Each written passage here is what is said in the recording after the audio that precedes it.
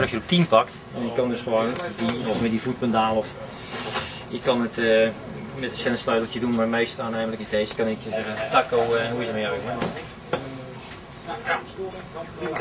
Ja, dus het betekent dus voor de centralist dat hij eigenlijk uh, niet eens hoeft op te letten of hij de goede, groep pakt. Dat doet hij overigens wel.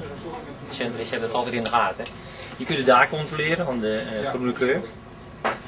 Maar je kan ook op het tabblad zitten, bijvoorbeeld op dit tabblad, wat, wat, er dus achter staat.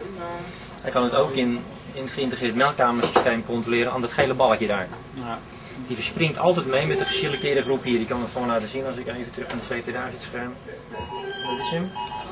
Ja. Even wachten, Taco, en dan even druk met wat anders, jongen. maar je ziet, kijk, je ziet dus, de groep, de groep is rood.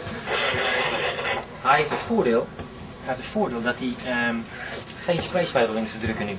Hij kan dus bij wijze spreken zo staan en dan toch met die melkkamer communiceren. Dat is het groot voordeel.